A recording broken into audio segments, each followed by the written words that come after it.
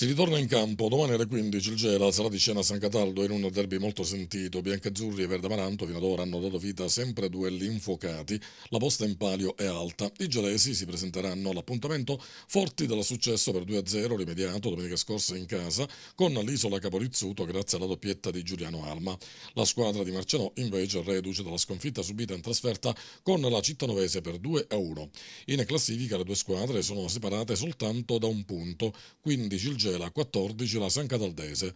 La formazione di Pippo Romano però deve ancora recuperare la partita con la Vibonese che quasi sicuramente sarà giocata mercoledì 8 novembre. Intanto c'è da pensare alla sfida di domani, gara insidiosa. Una partita molto difficile, una squadra che soprattutto tra le mura amiche è molto ma molto insidiosa, ricordiamo che non meno di 15 giorni fa ha battuto la Nocerina quindi sappiamo quanto eh, è sentito questo derby, partita molto difficile, però noi andremo lì con grande voglia, consapevoli delle nostre possibilità. È una partita difficile che va affrontata con il giusto piglio e la giusta determinazione. Gallon e Bonaffini non sono disponibili perché pur essendo guariti devono ora riprendere la preparazione atletica, quindi non saranno sicuramente disponibili. Recuperiamo invece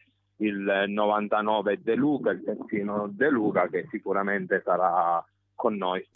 Al Valentino Mazzola, come sempre, sarà presente una nutrita truppa di tifosi gelesi. La partita sarà diretta da Costin Spataru di Siena. I tifosi nostri sono la nostra arma in più, sono impareggiabili, sono presenti ovunque noi giochiamo, meritano grande rispetto, noi ne siamo consapevoli e cercheremo con tutte le nostre forze di dare loro le giuste soddisfazioni e le giuste gioie.